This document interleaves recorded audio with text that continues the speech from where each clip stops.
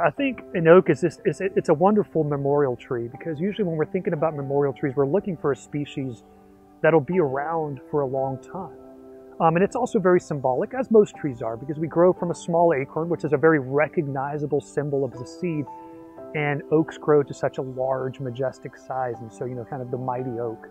And so I think it's a wonderful symbol. And also, we have to remember we don't plant trees necessarily for today, but we plant them for future generations. And this is a species that could be around for future generations and serve that memorial purpose that we hope it will be to remember something that has occurred in our past. We could probably expect, you know, multiple decades, maybe a century. There's a lot of space out here. This tree is going to have a lot of space to grow, both below ground, above ground. It'll probably end up having a very full, beautiful canopy. This species is known, especially when it has lots of light, have kind of almost a lollipop shape to it. And so we could expect it to get 60, maybe even 70 feet tall with probably a crown spread of about 50 plus feet.